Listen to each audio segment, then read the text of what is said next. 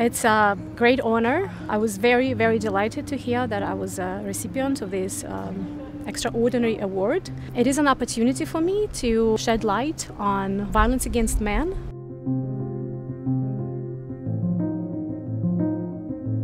In my work, I started to look at the violence against women and children, but I heard men's voices as well. I've seen this in the statistics that there are men who experience abuse, and I was surprised to see how much this topic was avoided. I looked at it. I think if we stop talking about the issue, it stays with us. We have to try to examine it with the hope that we can better prevent it.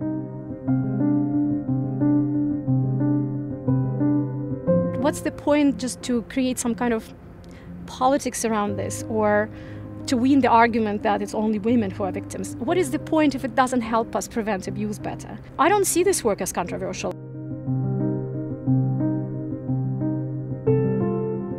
I really believe in what we're doing will help some people. When I talk to men who become very emotional during the interviews, I feel a lot of empathy to them. And it's sad for me to hear that really nobody cares. I see the real change in people's lives, and I think this is what keep me working on this.